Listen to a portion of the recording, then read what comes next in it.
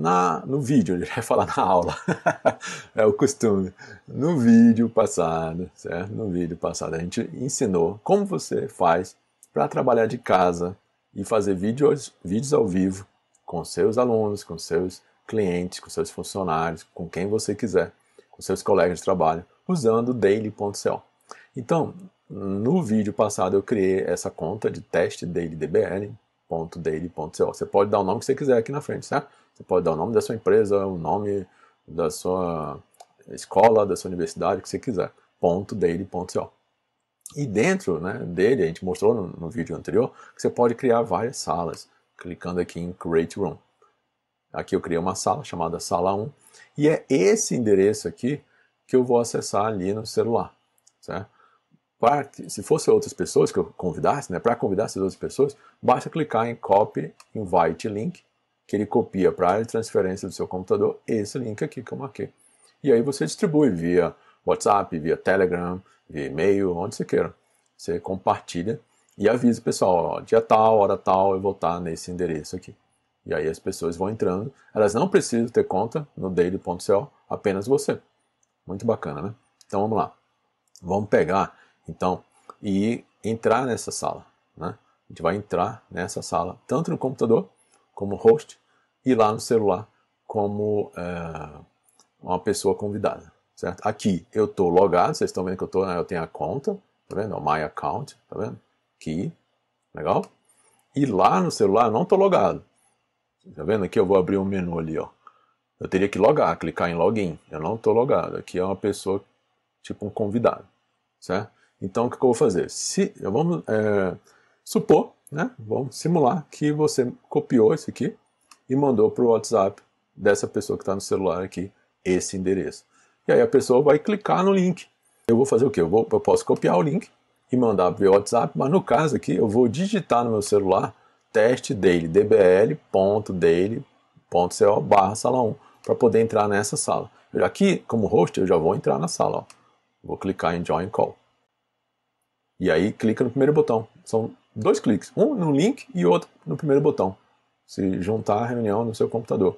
E as pessoas que você convidar também tem que ser instruídas, né, ensinadas a clicar nesse primeiro link. Certo? Então eu estou entrando aqui como host. Legal. Eu estou com a câmera desligada ainda, tá vendo? Está vermelha lá, mas já já eu vou ligar. E lá no celular eu tenho que colocar esse link, ó, testdailydbl.daily.co barra sala 1. Então vamos digitar, aqui eu não estou logado, ó, no celular, tá vendo? Login, eu teria que fazer o login, mas no caso, se eu fosse host, não vou ser host, eu vou ser o quê? um participante apenas, uma pessoa que participou dessa reunião, mas não é o host, não é o anfitrião. Então ela tem que vir aqui em cima e digitar aquele endereço ali. Então a pessoa lá no celular, clique em ir para ela entrar na sua sala.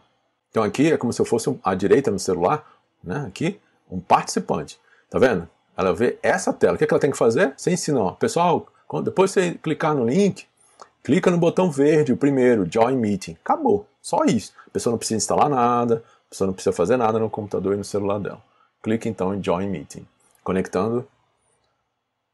Aí, ó, isso você tem que ensinar para as pessoas também.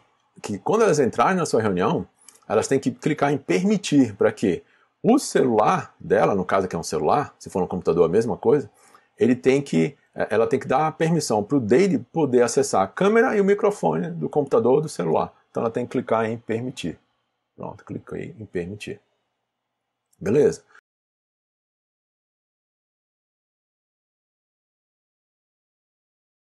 Aqui ela pode pegar e desligar o áudio. No caso, liga e agora eu desliguei. Desliguei. Por isso está aparecendo ali, câmera e o microfone estão desligados. Da pessoa que está nesse celular aqui. E se a pessoa não quer ficar até o final da reunião, ela clica naquele link ali, ó, nesse vermelho aqui. Sai da sua reunião. E fica você e as outras pessoas na reunião.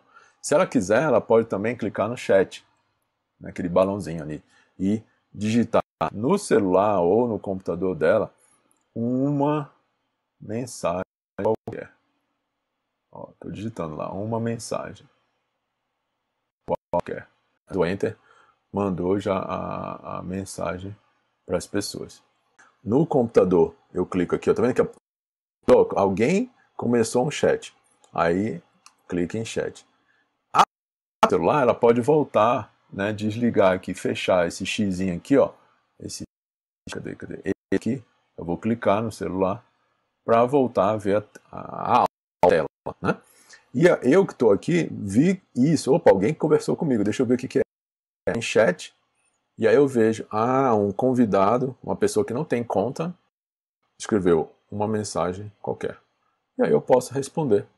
No caso aqui eu tenho que clicar nesse botão. Bom. Pronto, aí enviei. Lá, vi o balãozinho agora, lá no celular. Então fica isso, né? O chat. Se ela quiser, ela viu a resposta. Oi. Eu posso clicar em stop para parar o compartilhamento aqui embaixo ou clicar em parar ali em cima, tanto faz. Livre para finalizar, eu finalizei a reunião e aí já aparece lá para a pessoa que acabou, né? Que a câmera está desligada e tal, não tem mais nada. Pode clicar naquele botão vermelho para sair também. E aí ela sai também. Certo? E aqui voltamos então, aí ele fala o resumo da reunião, quanto tempo demorou. Tinham duas pessoas agora, ó. Duas pessoas. Eu e mais alguém. Né? E aí eu fecho aqui. E para finalizar, vou mostrar nesse vídeo, além de como né, você já sabe como é que faz, como é que usa né, o daily.co, se você gravou a reunião, ele gera o download no final, da, quando você para a reunião e sai, ele gera esse download. Como é que a gente faz a conversão? Por exemplo, usando esse site. Esse site chama-se Cloud Convert. É muito simples. Ó. Você clica aqui em converter disso aqui, desse formato, para esse. Aí você clica, e escolhe. Bem, eu quero converter um formato de vídeo, certo? Que é, opa, vídeo. E aí você procura aqui o vídeo, esse formato, WebM, que é a extensão do vídeo que foi gravada pelo Daily. Clica em WebM, então converter de WebM para MP4. Tem todos esses formatos, mas eu prefiro MP4 porque a maioria das pessoas conhece MP4, consegue abrir o MP4. Beleza? Próximo passo, escolher o arquivo. Aí você clica aqui em escolher o arquivo. Então já escolhi o arquivo. Então ele vai converter esse arquivo aqui, que foi gravado dia 18 de março de 2020, às 17h41 e 43 segundos, para MP4. Entendeu?